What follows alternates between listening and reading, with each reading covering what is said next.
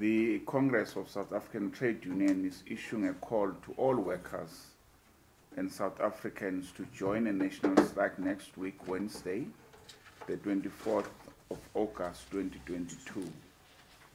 The intention of the strike is to demand an urgent action from the policy makers and decision makers to take drastic steps to avoid economic collapse that is threatening the lives of millions of workers and the poor.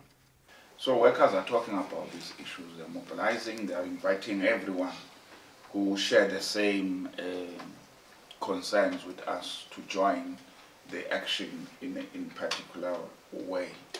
was saying uh, the government must do away with uh, neoliberal policies which are exacerbating the state of, of, of the li living of the people of South Africa. Uh, high levels of unemployment, inequality, and, and, and poverty are as a result of such policies.